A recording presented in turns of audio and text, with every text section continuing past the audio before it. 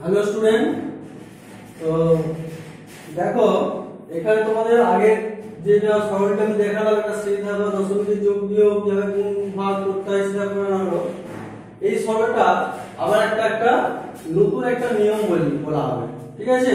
এটা একটা অন্য টাইপের সরল দেখো। তো এখানে আমি যে সরলটা টুকেছি ছয় হাজার একটা সরল আছে।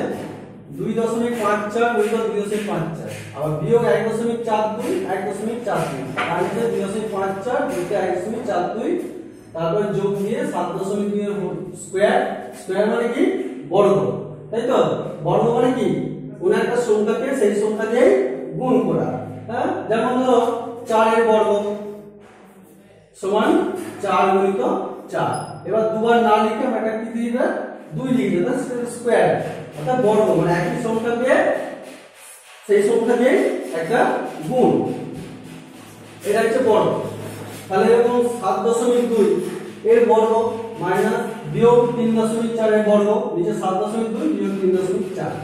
তো দেখো, একে যখন তোমরা এগুলো গুণ করবে বা বিয়োগ করে আবার এগুলো গুণ করবে হ্যাঁ? আবার এটাকে সাত দশমিক দুই গুণ সাত দশমিক দুই করবে, আবার তিন দশমিক চার মানে এখানে গুণফল করে একটু বড় হবে, তাই তো? মানে অসুবিধা নেই হ্যাঁ? যে গুণ করে যে করলে যে মিলিমিটে বাধা কিছু তা নয়, পদ্ধতি সবই ঠিকই আছে। তো আমি এটা একটা অন্য পদ্ধতিতে করছি, ঠিক আছে? তোমরা মনে রাখবে, যখন এরকম স্কোয়ার দেওয়া থাকবে না এরকম দুটো সংখ্যার বর্গ মাঝখানে বিয়োগ দিয়ে থাকবে, তখন তোমরা দেখবে যে প্রথম সংখ্যাটা যুক্ত দ্বিতীয় সংখ্যা, এটা একটা আলাদা সংখ্যা, এটা একটা আলাদা সংখ্যা। তাহলে প্রথম সংখ্যা যুক্ত দ্বিতীয় সংখ্যা আবার প্রথম সংখ্যা বিয়োগ দ্বিতীয় সংখ্যা এই একটা পদ্ধতি। মানে যখন ধরো চারের স্কোয়ার বিয়োগ দুই স্কোয়ার এটাকে আমরা এভাবে লিখতে পারি? চার যুক্ত দুই, আবার চার বিয়োগ দুই। এভাবে আমরা ভেঙে নিতে পারি। ঠিক আছে? তাহলে কি হবে? অঙ্কটা একটা সুবিধা হবে।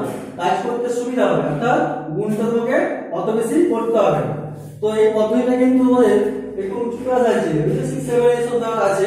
তাহলে বলবে এখানে কেন পড়াচ্ছি? তোমার একটু সুবিধা হবে, তার জন্য একটু দেখিয়ে দিচ্ছি। ঠিক আছে? তোমরা গুণ করে, করতে পারো, কোনো অসুবিধা নেই। তাহলে তোমরা দেখো প্রথম যুক্ত দ্বিতীয়, আবার প্রথম বিয়োগ দ্বিতীয়। প্রথম সংখ্যা হচ্ছে দশমিক পাঁচ চার, দ্বিতীয় সংখ্যা এক দশমিক চার দুই। হ্যাঁ? একটাকে ধরে নিয়ে করছি। তাহলে দেখো দশমিক পাঁচ চার যুক্ত এক দশমিক চার দুই। আবার এখানে মাঝখানে কিছু চিহ্ন নেই মানে একটা গুণ চিহ্ন আছে, বুঝতে পেরেছ? দুই দশমিক পাঁচ চার বিয়োগ এক চার দুই। তাহলে এটাকে আমি স্কোয়ারটাকে এভাবে একবার যোগ দিয়ে একবার বিয়োগ দিয়ে দুটো সংখ্যাকে আলাদা করে লিখে দিলাম নিচে যেমন আছে রইল এটা আমরা তাই করেছি, সাত দশমিক দুই আর তিন দশমিক চার সাত দশমিক দুই যুক্ত তিন দশমিক চার, আবার সাত দশমিক দুই বিয়োগ তিন দশমিক চার। একবার যোগ করে একবার বিয়োগ করে এবং মাঝখানটায় গুণ আকারে এভাবে লিখে দেওয়া যেতে পারে। তাহলে এগুলো যোগ করলে কি তিন দশমিক নয় ছয়। চার দিয়ে ছয়, পাঁচ ছিল নয় তিন এখানে তিন। তিন দশমিক নয় ছয়, এর কি চিহ্ন বলছে? গুণ চিহ্ন দিয়েছি? আবার দুই দশমিক পাঁচ চার দিয়ে আমরা দুই করলে দুই, চার দিয়ে দুই বাদে দুই, পাঁচ থেকে একবার দিলে এক, দুই দিয়ে একবার দিলে এক। তাহলে গুণ হবে মাঝখানে তিন দশমিক নয় ছয় গুণটা এক দশমিক এক দুই। আবার এগুলো যোগ করে তিন দশমিক নয় ছয় হচ্ছে আর এইগুলো যোগ করে কত হচ্ছে? দশ দশমিক ছয়। চার, ছ- চার দিয়ে ছয়, সাত তিনে দশ। দশমিকটা গেল? দশমিক নিচে আবার বিয়োগ করে কত হচ্ছে চার করে বারো আট হাতে থেকে চার, সাত করে চার বাদ দিলে তিন। আবার এগুলো বিয়োগ করে তিন দশমিক আট। এবার দেখো, ওপর নিচে একই সংখ্যা দেখাবে কোনা কোন জানো? যে কাটাকাটি যায়, একই হলে। তাহলে এই সংখ্যাটা দেখো, এই সংখ্যা একই সঙ্গে কেটে যাবে। আবার দেখো এখানে তিন দশমিক আট, এই তিন আট কেটে যাবে। তাহলে গুণ করতে এত বেশি? এত বেশি গুণ করতে হবে না। তাহলে এখানে কি হলো? এক দশমিক এক দুই যুক্ত কত হলো? দশ দশমিক ছয়। তাই তো? তাহলে এইগুলো তো কেটে গেছে। তাহলে এগুলো যোগ করে আমরা পেলাম।